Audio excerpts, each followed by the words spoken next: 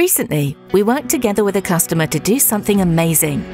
The first ever autonomously drilled section using full rig automation and autonomous on-bottom directional drilling.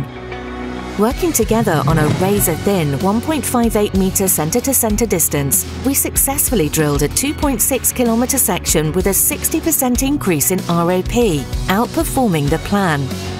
All while reducing carbon emissions by 16%. To make things safer, more efficient and cost-effective, we integrated surface and downhole automation combined with our autonomous capabilities that help to minimise human intervention. Now, autonomy and automation are not the same thing. Automation is when equipment follows instructions to carry out repetitive tasks. On the other hand, autonomy involves technology assessing conditions, even unexpected ones, and then making adjustments. When combined, the two elevate efficiency. So, how did we do this? We started with a cross disciplinary team that worked as a united force. Then we used our sequencing software to automate pipe handling connections, as well as trips in and out of the hole. DrillOps, SLB's intelligent well delivery solution, automated on bottom drilling.